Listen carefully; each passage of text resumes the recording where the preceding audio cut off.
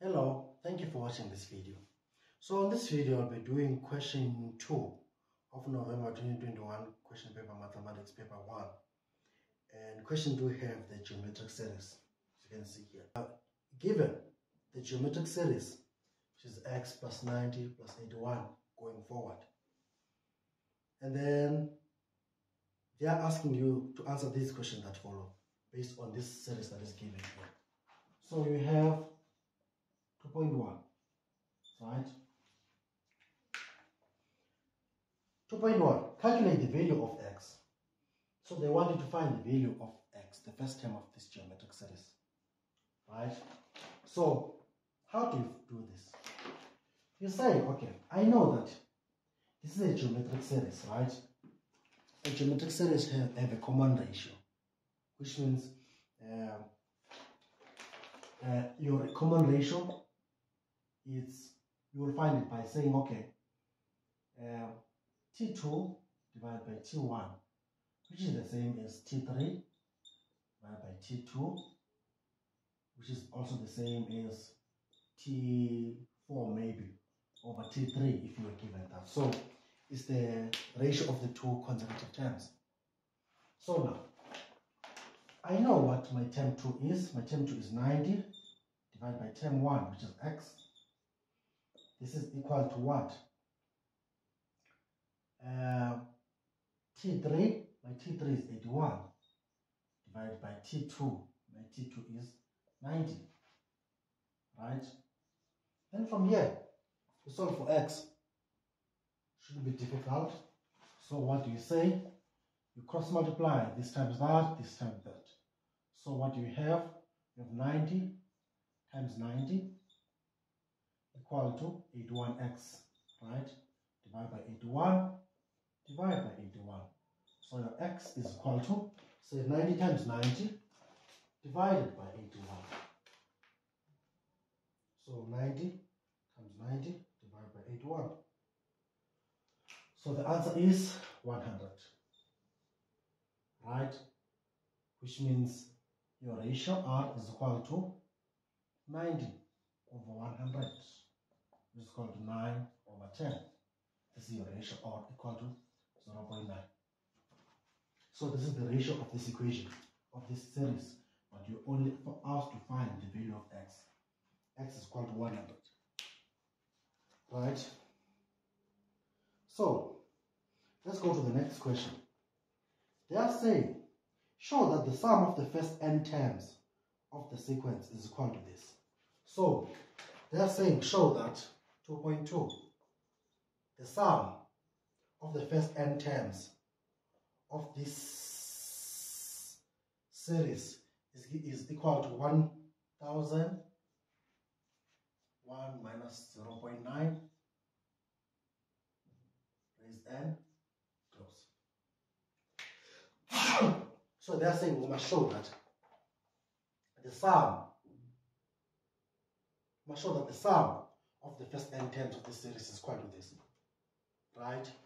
So now, if you want to find the sum of a geometric series, you know that you find using Sn is equal to A, 1 minus R raised n, all over 1 minus R, where your R is not equal to 1. Because you're serious. And then now you substitute Sn is equal to A. What is your A? Your A is equal to 100, right? It's X. 100 to 1 minus R. What is your R? Your R is what 9 over 10 or 0 0.9. Raise N.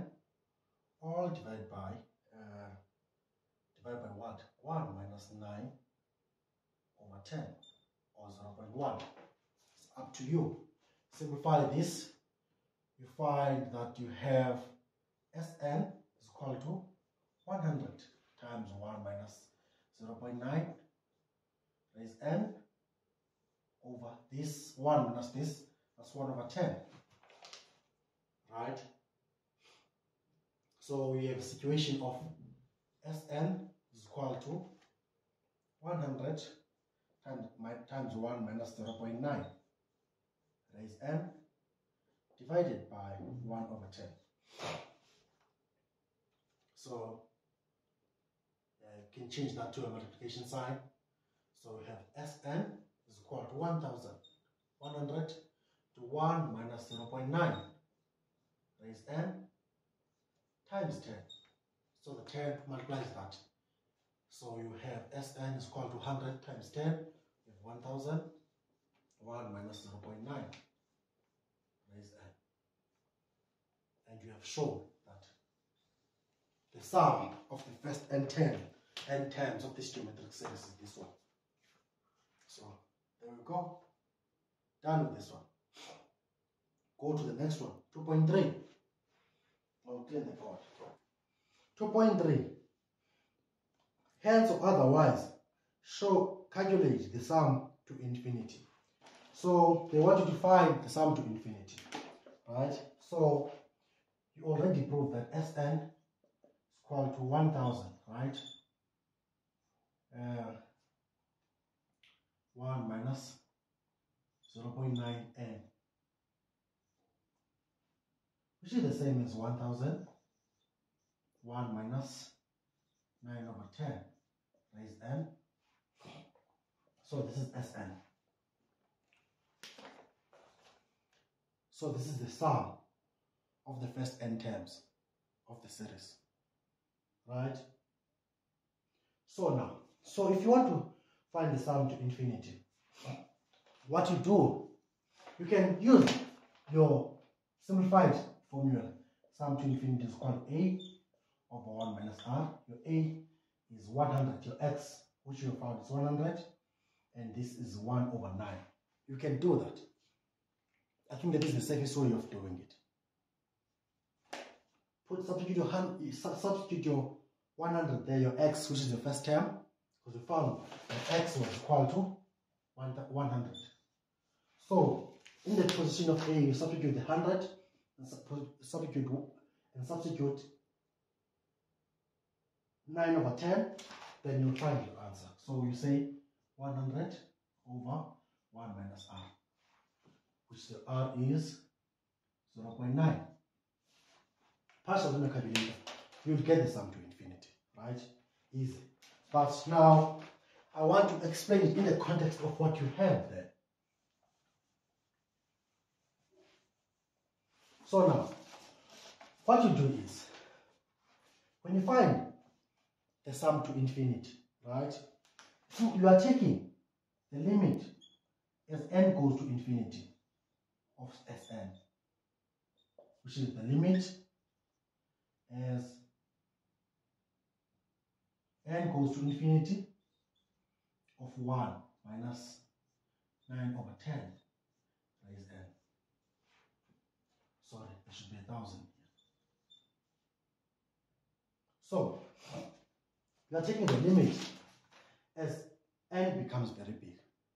So if you allow n to become very big, so n goes to approaches infinity, if you n becomes very big, the lower part, the denominator, because it's bigger than the numerator, it will grow faster than the numerator. So the lower part will grow at a fast, will increase. If you increase n, which is you're allowing it to go to infinity, the denominator will increase at a higher rate than the numerator. So, as n becomes very big, this part will go to zero. That's what will happen. So if you allow n to go to become very big, approach infinity, then your n will approach zero, will become very close to zero. So now what we're left with, you'll be left with 1000 times 1 minus, was it minus? Minus 0. Because this will get very close to 0, will approach 0. Therefore, the limit as n goes to infinity of the sum of this geometric series will be equal to this time that, which is 1000. So the limit, the sum to infinity, is 1000 of this thing. It should be the same as that you get when you use the formula as to infinity is equal to a over 1 minus r. But I just wanted to explain what it really means. It means that if you want the sum to infinity, you just I'll take the limit as Sn goes to infinity and, and look, observe how it behaves. So this will go to 0 because the numerator will be growing at a faster rate compared to the denominator. Sorry, the denominator will be growing at a faster rate, will be increasing at a faster rate than the numerator. So the numerator will be outpaced. And therefore, this will become very close to zero, as you can see. And therefore, our limit will be equal to zero. I think we're done with this one. This was a very short one. So we'll go to the next question.